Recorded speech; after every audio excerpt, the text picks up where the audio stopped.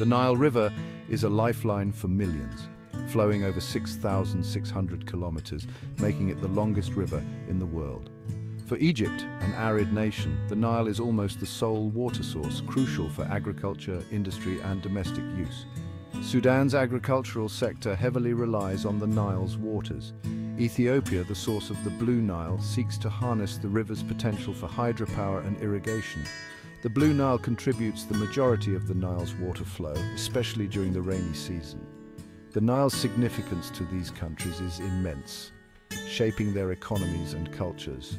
The river's role in sustaining civilizations for millennia cannot be overstated.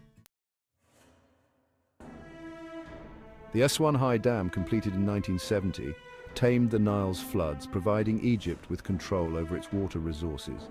The dam's reservoir, Lake Nasser, stores billions of cubic meters of water, ensuring a steady supply for irrigation even during droughts. Its hydroelectric power plant generates significant electricity, powering homes and industries. However, the creation of Lake Nasser submerged ancient Nubian villages and archaeological sites, displacing thousands. The dam's impact on the Nile's ecosystem, particularly the reduction of nutrient-rich silt, sparked concerns. Despite these challenges, the Aswan High Dam remains a symbol of Egypt's ambition and determination to secure its water future.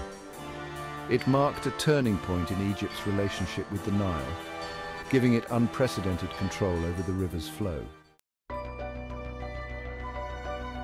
Ethiopia's Grand Ethiopian Renaissance Dam, GERD, near the Sudan border, is set to be Africa's largest hydroelectric dam. The GERD represents Ethiopia's aspirations for economic development and energy independence. The dam's hydroelectric power plant is expected to generate thousands of megawatts of electricity, boosting Ethiopia's energy grid. However, Egypt fears the filling of the GERD's reservoir could reduce the Nile's flow, impacting its water security. The dam's operation, especially during droughts, has become a point of contention between Ethiopia and Egypt. The GERD's construction has raised hopes and apprehensions in the Nile Basin. The Nile River, once a symbol of unity, has become a source of tension. Large-scale dams like the GERD have exacerbated concerns over water security, particularly in Egypt. Egypt views any reduction in the Nile's flow as a threat to its existence, heavily relying on the river for its water needs.